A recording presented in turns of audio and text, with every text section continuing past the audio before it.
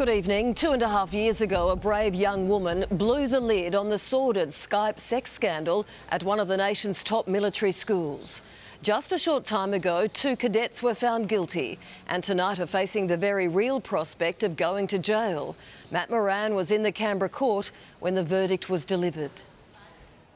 Hand in hand, Kate's family support her as they leave court.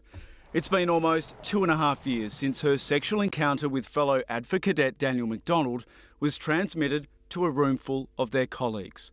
While the sex was consensual, Kate says she knew nothing about the camera and was disgusted when she found out. I just I felt sick to the stomach.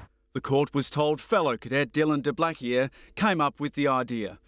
I just had a effing sick idea pop into my head. F her and film it.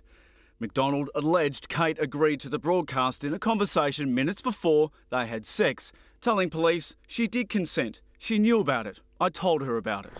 But the prosecutor told the jury that was so implausible you will reject it outright because there was electronic evidence showing she wasn't aware. The court heard Kate accidentally got a Facebook message from McDonald revealing the plan.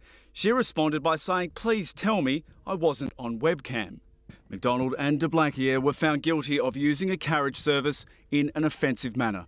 McDonald was also convicted of committing an act of indecency. Kate says she doesn't regret coming forward despite the huge emotional burden on her since 2011. And the reason is simple because her story gave others the strength to speak out.